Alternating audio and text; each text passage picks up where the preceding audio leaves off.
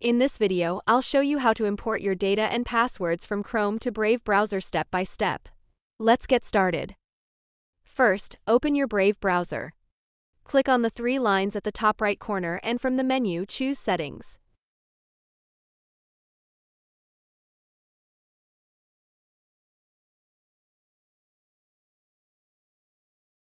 Now, under the Get Started section, click on Import Bookmarks and Settings.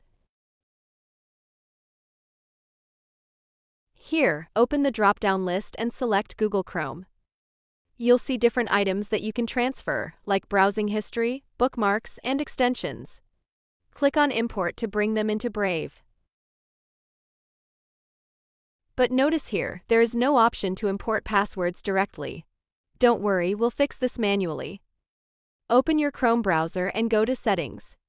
From the left side, click on Autofill and Passwords, then choose Google Password Manager. Click on Settings, scroll down, and under Export Passwords, click Download File.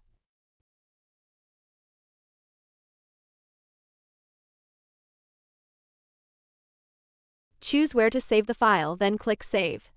This file contains all your saved passwords. Now go back to Brave browser. In the settings, click on Autofill and Passwords, then select Password Manager. On this page, click Settings and under Import Passwords, choose Select File. Upload the file you just downloaded from Chrome.